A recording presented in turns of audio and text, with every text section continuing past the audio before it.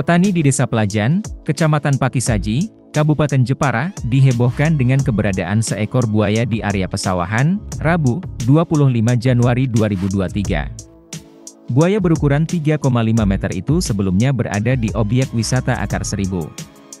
Beruntung tak lama berselang tim relawan dan petani setempat berhasil mengevakuasi hewan tersebut.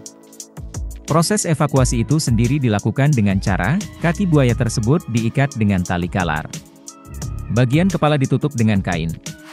Kemudian ditandu dengan bambu. Kepala pengelola objek wisata Akar Seribu, Priatin mengungkapkan, buaya tersebut lepas dari sarang karena debut air kolam tinggi setelah hujan deras semalam. Buaya itu melompat hingga menyebabkan pagar rusak. Buaya itu kemudian diketahui oleh seorang petani 300 meter dari lokasi wisata. Kini setelah buaya tersebut bisa dievakuasi, pihaknya berencana mengembalikan hewan tersebut ke BKSDA.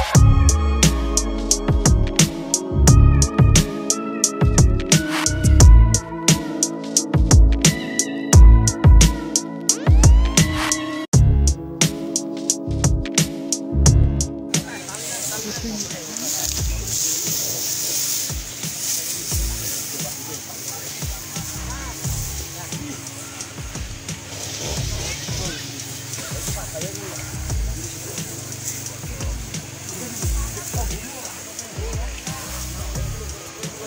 di